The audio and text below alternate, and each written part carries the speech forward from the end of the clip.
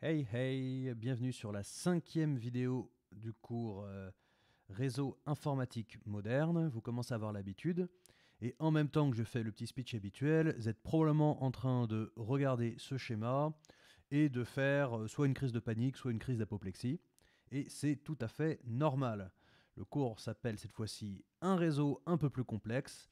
Et effectivement, il est un peu plus complexe parce que bon, les premiers schémas où il y avait euh, deux réseaux, chacun dans leur coin, un petit routeur qui les connectait, c'est mignon, c'est simple pour comprendre, mais c'est pas forcément le plus représentatif de, la réalité. Donc l'objectif de cette vidéo, c'est de réussir à comprendre tout ce qui se passe ici et chacune des configurations. Alors je le dis tout de suite, ça c'est une vidéo, il va falloir la travailler. Il faudra la regarder probablement à plusieurs reprises, la refaire de son côté avec son petit GNS3, euh, peut-être même un peu papier-crayon, mais euh, c'est pas le genre de vidéo euh, à laquelle vous allez survivre euh, en étant affalé dans un canapé et en mangeant un sneaker en même temps. Quoi. Bref, à quoi ressemble ce schéma dans notre petit monde virtuel? On a trois grandes entités. On a d'une part mon entreprise, qui est ma petite entreprise à moi, et à qui la grande autorité universelle au sein de, cette, de ce monde parallèle a décidé d'attribuer le préfixe 198.51.100 slash 24, c'est-à-dire toutes les adresses IP qui appartiennent euh, à cette entreprise commencent par 198.51.100. Alors on voit qu'il en a fait une superbe utilisation, mon entreprise, euh, vu que j'ai une machine, mais on va imaginer qu'il y en a, euh, qu'il y en a euh, 200 autres à côté qui s'amusent.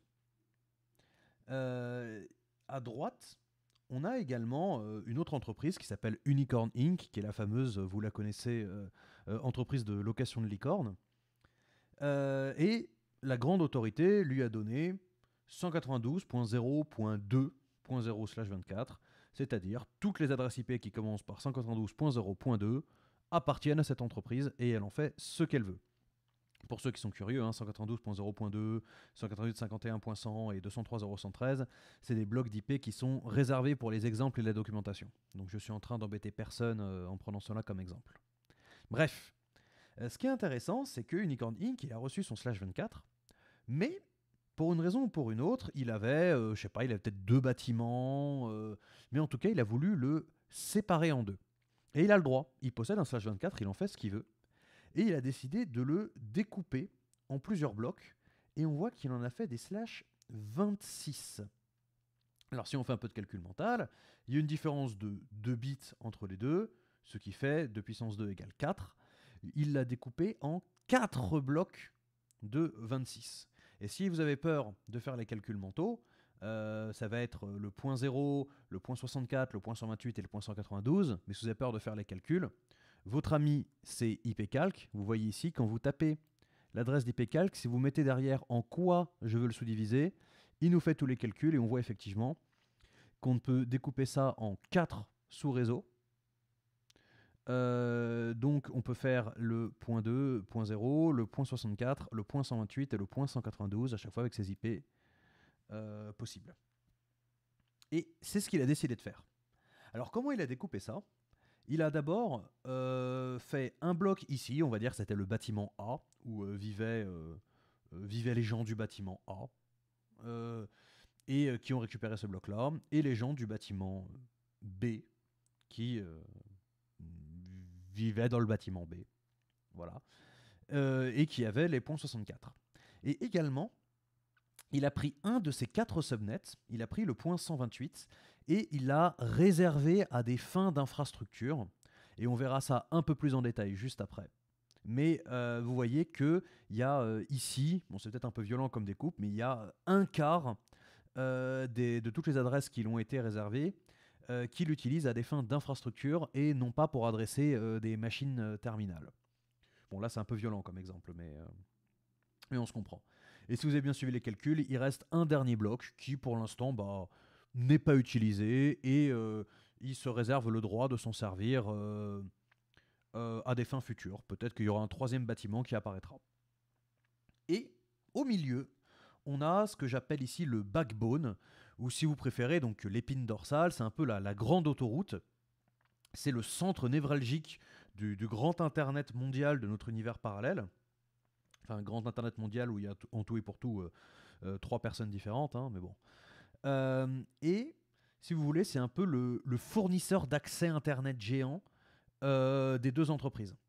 Et donc, elle sert également de ce qu'on appelle de transitaire, c'est-à-dire que lorsque mon entreprise veut envoyer un paquet, quelle que soit la destination, même si là il n'y a qu'une seule destination possible, le paquet va transiter par le backbone.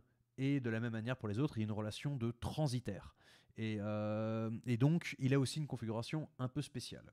Et lui, au niveau de ses adresses IP, pareil, la grande autorité mondiale euh, du monde parallèle lui a donné 203.0.113/24. Et lui aussi, il a décidé de faire un truc assez bizarre. Là, vous êtes en train de vous regarder un slash 31 et potentiellement, vous êtes en train de, de vous dire oulala, qu'est-ce qui se passe? Mais bon, on va toutes les voir un par un. Commençons par le commencement, commençons par le plus simple.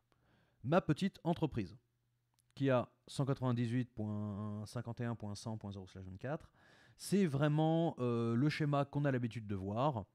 Euh, une adresse IP pour la machine qui est un point 2, parfait. Et donc ici, ça doit être le point 1. On est super content.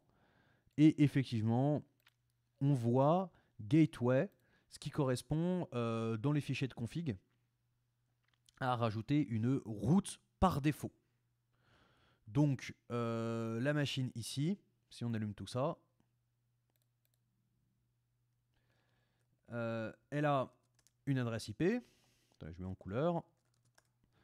Euh, 198.51.100.2 slash 24 et elle a également ah bah moins C ça marche pas euh, deux routes la route locale scope link on commence à avoir l'habitude lorsque je discute avec quelqu'un sur mon réseau local c'est quelqu'un qui a le même préfixe que moi ou sinon par défaut alors on va demander à ce routeur là c'est ce qu'on appelle la route par défaut euh, défaut, c'est jamais qu'un joli mot pour 0.0.0.0 slash 0. hein. Mais bref. Et le routeur ici est plutôt tranquille. Et on voit que lui, en termes de config, il est un peu similaire. Il a une patte à gauche avec son adresse IP en 198.51.100 et une patte à droite. Cette patte à droite a une adresse IP qui lui a été donnée par le backbone en tant que fournisseur d'accès Internet, le backbone lui a donné cette adresse IP. Et une configuration de gateway, on va voir ça juste après, vous devinez facilement que .8 est l'adresse IP de ce qui se passe ici. Alors, mon entreprise, c'est fait.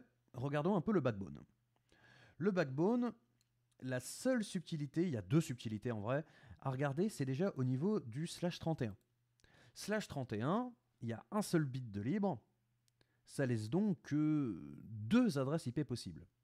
Et peut-être que vous êtes en train de vous dire là, mais attends, euh, je vois pas comment c'est possible. Parce que normalement, il y a toujours deux adresses qui sont réservées, qui est l'adresse où il n'y a que des zéros, euh, qui est l'adresse du réseau, et l'adresse où il n'y a que des 1, qui est l'adresse de broadcast. Et effectivement, normalement, c'est vrai, mais euh, pour des raisons d'optimisation, on a, il y a une RFC, la RFC 3021, qui a autorisé un cas particulier qui dit si jamais je suis en train de faire un- une liaison point à point. Et ici, on voit que c'est une liaison point à point. Il n'y a que deux machines sur ce réseau. Et effectivement, bah, plutôt que gâcher des adresses, euh, ça coûte cher les adresses, on n'en a pas beaucoup, eh bien on autorise l'optimisation du slash 31. Et on perd l'adresse de broadcast, mais euh, comme de toute façon, euh, il n'y a qu'un seul chemin et il n'y a qu'une seule personne à l'autre bout du tunnel, l'adresse du broadcast, c'est pas forcément la plus utile du monde. On perd également l'adresse du nom du réseau, bah c'est pas grave. Mais en tout cas, dans slash 31, ici, il n'y a que le point 8 et le point 9. Et de la même manière ici, dans le point 40 ici, slash 31, il n'y a que le 40 et le 41. Vous pouvez noter à chaque fois, euh, il y a toujours un pair et un impair. Et d'ailleurs, en fait, je me suis imposé une petite règle, le backbone a fait une petite règle. À chaque fois, le routeur qui porte les deux adresses, les numéros pairs, c'est de son côté, et il passe la variante impair à chaque fois à son client. Donc, pour chaque client du backbone, euh, il prend un slash 31 à l'intérieur du slash 24.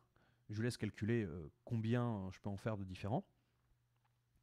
Et il donne un bout au client et il en garde un pour vous, un pour lui. Jusqu'ici, tout va bien.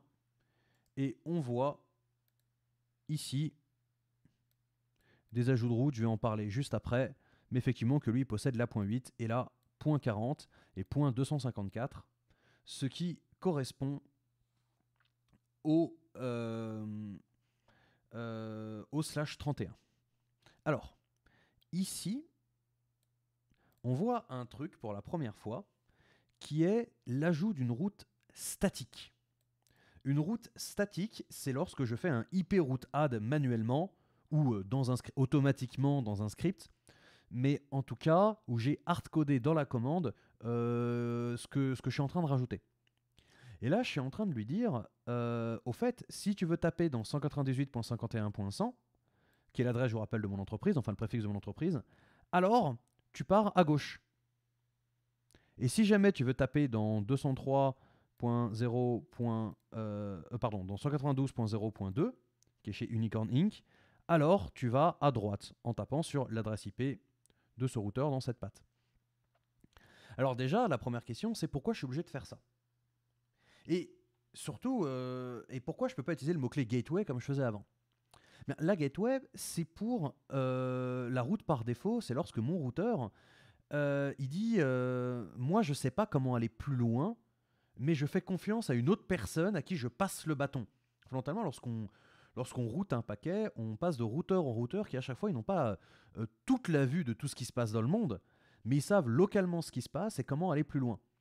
Et lui, il n'y avait pas de miracle chez ce petit routeur ici, parce qu'il était un peu euh, le dernier routeur de sa, lignée, à gauche.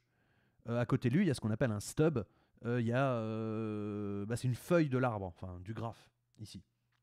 Et donc, il n'y a pas de miracle, tout ce qui n'est pas la feuille, si je veux contacter, bah, je ne peux que aller à droite. Donc forcément, j'ai besoin d'une route par défaut. Pareil pour routeur 3, ici, bah, si je ne suis pas Unicorn Inc., je ne peux que aller à gauche. Donc à chaque fois, je fais confiance à quelqu'un plus loin.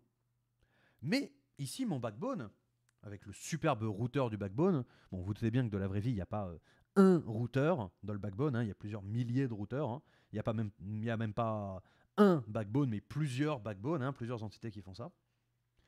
Euh, bah, il peut pas euh, passer le bébé à quelqu'un plus haut. C'est lui qui est tout en haut.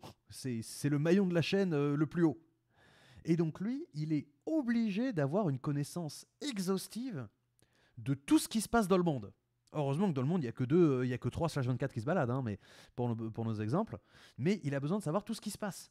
Et il est obligé de dire, vu qu'il est la vue sur tout et que de toute façon tout le monde passe par lui, il ne peut pas avoir de route par défaut. Et il est obligé de de mettre ces routes explicitement, je remontre ici, je dois passer par là et par là. Et lorsqu'on a euh, l'absence de route par défaut, comme ça, c'est ce qu'on appelle une DFZ, une Default Free Zone. Une zone qui n'a pas de route par défaut.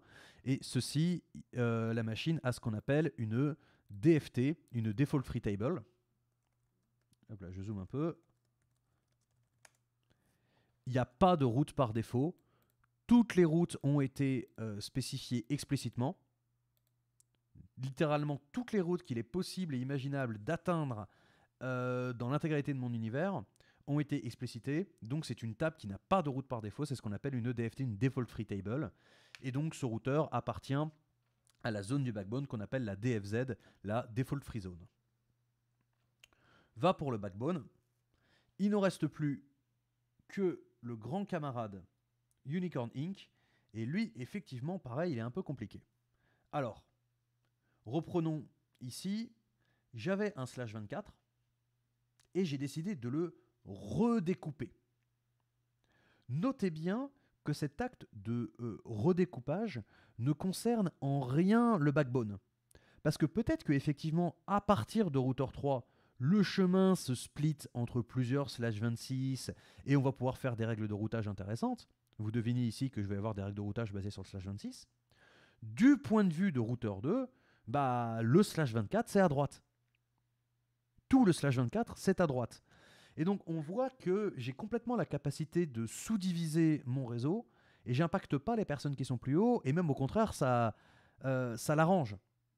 ça l'arrange et ça permet de faire des routes qui sont beaucoup plus simples.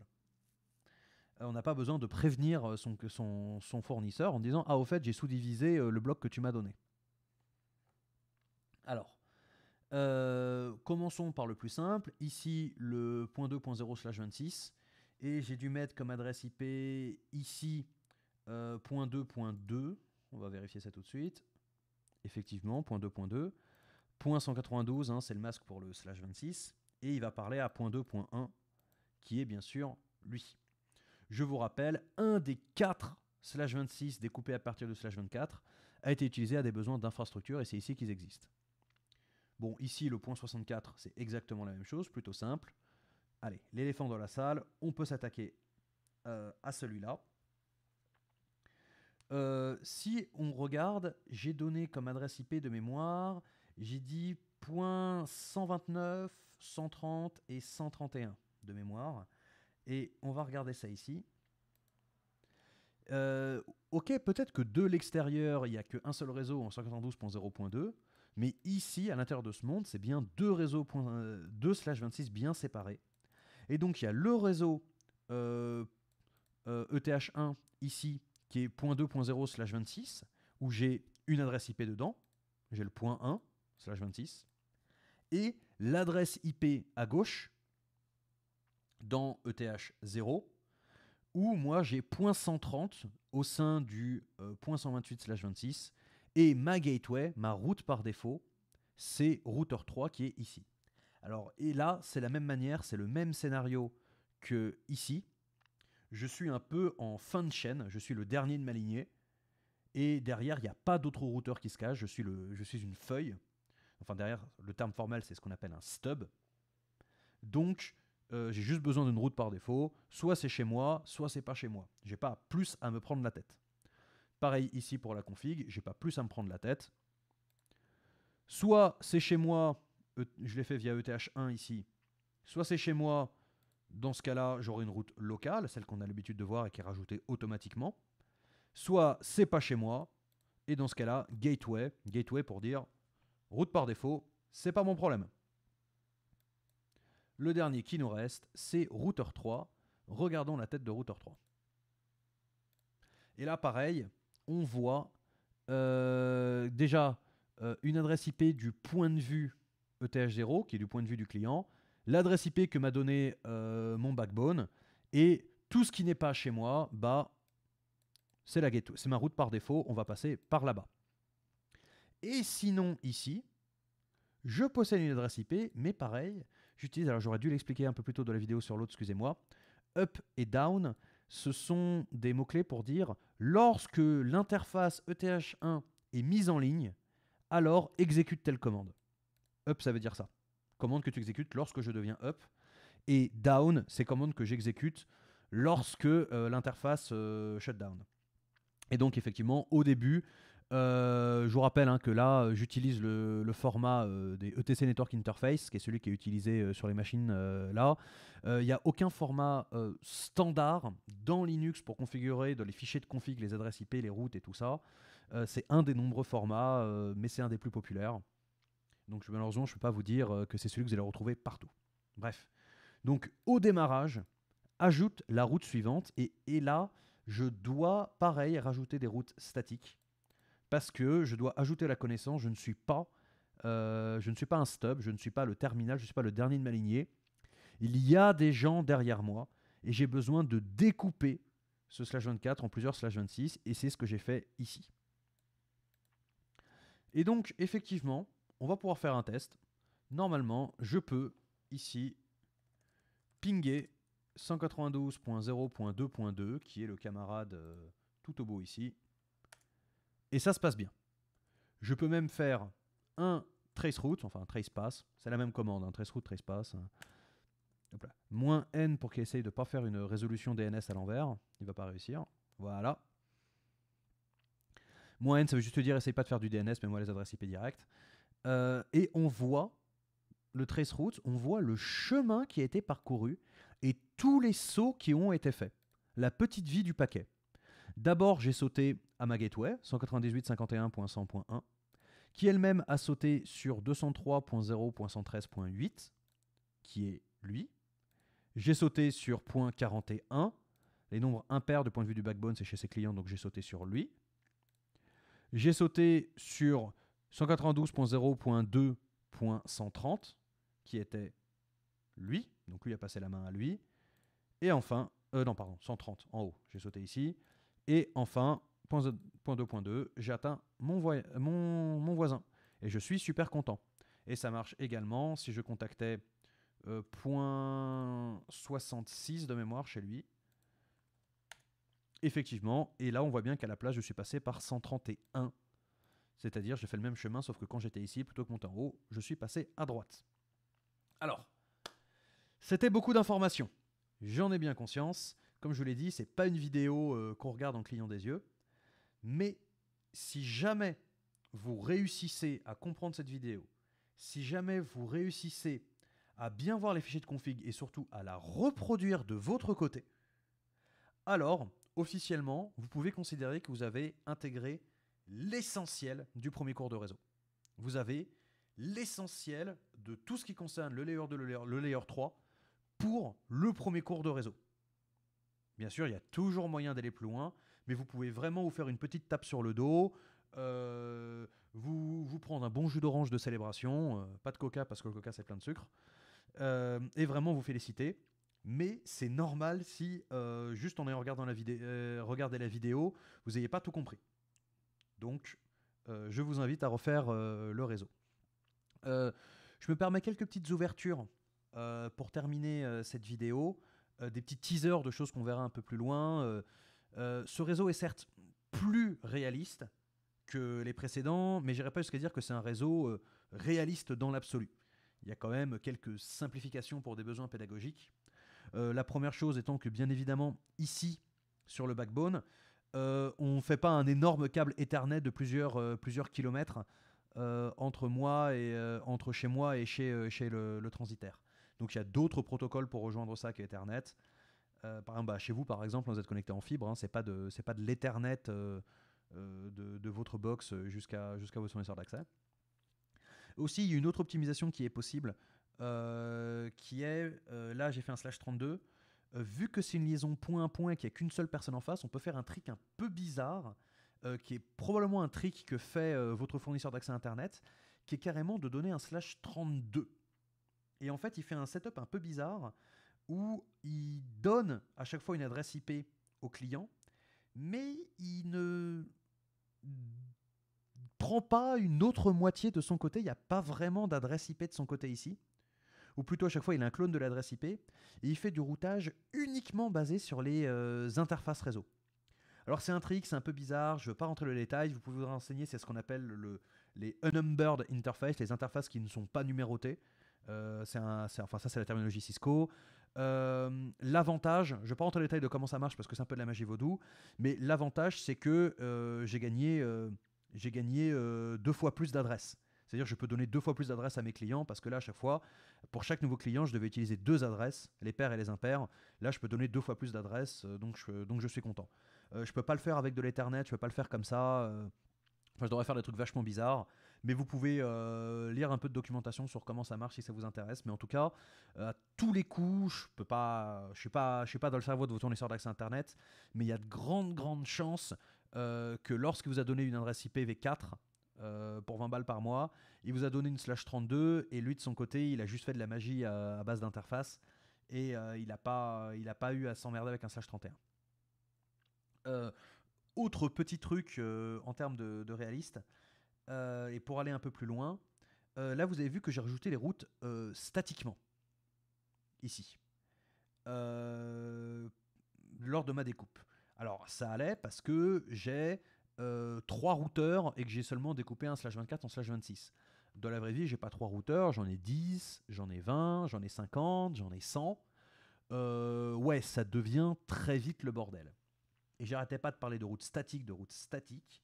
Eh bien, dans la vraie vie, on va faire ce qu'on appelle des routes dynamiques et il va y avoir un protocole et des, algorithmes qui vont tourner, des protocoles qui vont tourner pour que les routeurs se synchronisent automatiquement au sein de mon entreprise euh, pour apprendre les routes. C'est ce qu'on appelle des protocoles de routage. Euh, et donc, par exemple, on pourrait imaginer un protocole où routeur 4 ici Comme il a une patte dans 192.0.2.0/26, il est capable de gueuler ici, de dire Eh les gars, euh, si jamais vous voulez euh, contacter euh, ce préfixe-là, bah, passez par moi parce que moi je sais comment le rejoindre. Et lui, automatiquement, routeur 3, il aurait appris ça parce que lui lui a dit, et il rajouterait ça automatiquement, dynamiquement dans sa table de routage.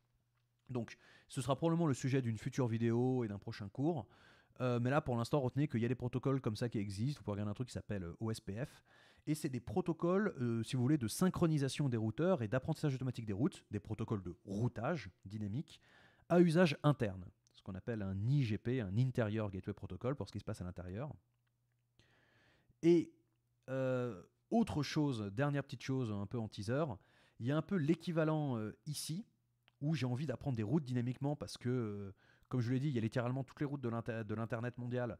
Euh, je vais peut-être pas m'amuser à les remplir à la main dans mon fichier de config. Euh, bah, il existe également un protocole, sauf que là, le but n'est pas de gérer mes routeurs à moi au sein de mon entreprise, mais de synchroniser euh, mon entité à moi avec les entités des autres et dire alors toi c'est quoi ton slash? Ah bah tu peux passer par moi pour atteindre tel machin tu peux passer par moi et tout ça et là on passe sur des protocoles qui sont également des protocoles de routage, mais pour interagir avec les voisins. Et là, le grand, acteur, c'est BGP. Donc, je ne vais pas du tout rentrer dans le détail dans cette vidéo. Il y aura d'autres vidéos. Mais voilà, retenez juste que dans la vraie vie, on fait pas ça dans des fichiers de config. Euh, voilà, c'est tout pour moi pour cette vidéo. Euh, j'espère que vous n'avez pas pris trop cher. Et comme d'habitude, je reste à votre entière disposition si vous avez la moindre question. Salut, salut